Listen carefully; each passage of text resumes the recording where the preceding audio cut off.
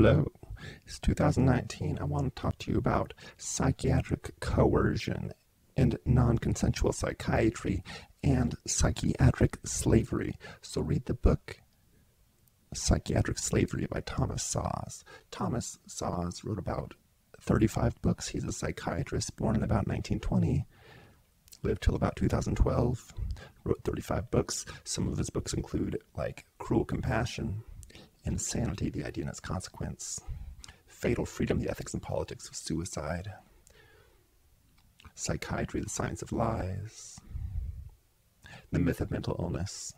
He wrote about 35 books. You can look them all up online. There's bibliographies or there's lists of his books online.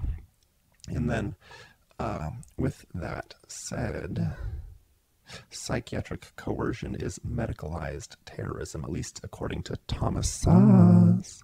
So, um, there should be a grassroots movement to outlaw non consensual psychiatry and psychiatric slavery and psychiatric coercion. I'm only one human on earth out of seven billion. There needs to be many, many, many, many, many, many, many, many, many individuals who are interested in outlawing non consensual psychiatry and psychiatric slavery. Read the book Anatomy of an Epidemic by Robert Whitaker, please. Check it out. Read books by Thomas Szasz. If it's appropriate, tell other people that they should help to outlaw psychiatric coercion. That non consensual psychiatry is morally wrong. That's true. And read books by Thomas Szasz. Now, don't break any laws. Don't do anything that get you in trouble.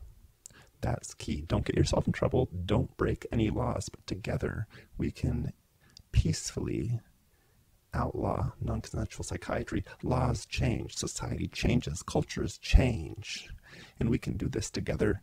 I can't do it alone.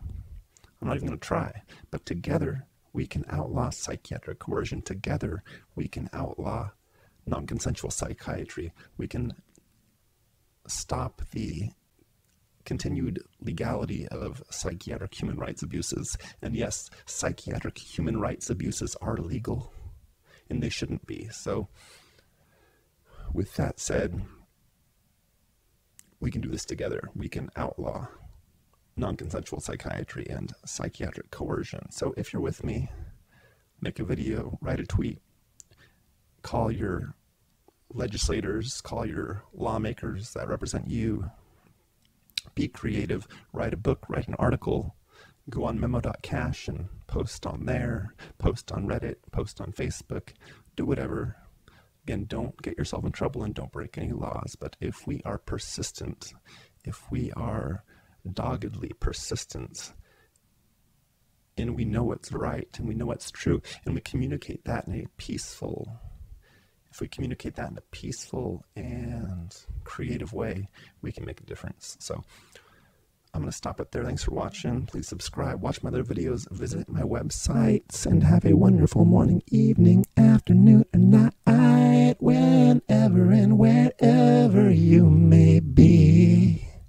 That's all for now. Cheerio, cielo, milagros, and limitless peace. See. Cielo Milagros. That's all. And yeah, read books by Thomas Szasz. It's good stuff. Cheers limitless peace, and limitless forgiveness too, and infinite patience. But yeah, read books by Thomas Szasz. Tell your friends, tell your parents, tell your cousins, tell your siblings. Don't break laws. Be a peaceful person, authentically peaceful. Help to outlaw non consensual psychiatry. I'm going to end it there. Cheers. Ha. Ha. Ha. Ha.